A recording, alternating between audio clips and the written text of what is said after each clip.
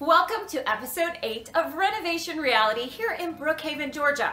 So we're at the 8th episode, which means we're two months into it. And remember, when we started this project, the contractor said between four and six months. Well, that would mean we're halfway there, right? Well, not quite. I'm going to show you this week a few more snafus that we've hit and what we're doing to deal with them. So make sure you watch it all the way through. So you may remember last week we had the framing put in for the renovation.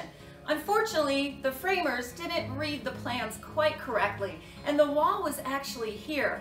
And on this side of the wall, this was brought out too far. So the homeowner came in, reviewed it with the contractor, discovered the mistake, and I gotta give the contractor credit, he had it fixed almost immediately.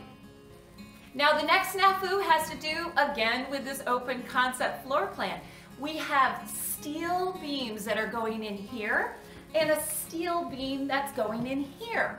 But we had a little bit of a weather delay on the fabricator's part, so we're behind a few days. Next week, hopefully we'll be able to show you these beautiful beams that are going in. All right, next problem that we uncovered actually had to do with the leveling of the house. Now remember, it's taken a couple of weeks to jack up this 54 year old home so that it's level. Well, unfortunately, the beam that had been supporting this house for that long had warped due to the fact that it was settling funny. So you actually had a little bit of a hump here in the master bath which is a huge problem when you lay tile on anything that's not level down the road you could have cracking, your shower pan could be leaking, so that has to be rectified. So we either have to replace that beam completely or shave it down so that it fits perfectly under that tile.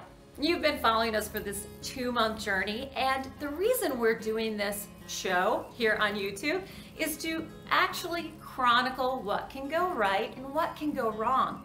The culture today with all these great renovation shows on network TV is creating an audience of people that think, how I can do this, this is super easy, I'm gonna make a huge profit. We just want to give you a dose of reality. Because it is expensive, it does take time, and we wanna make sure it's done safely, not only for your investment, for the buyer down the road.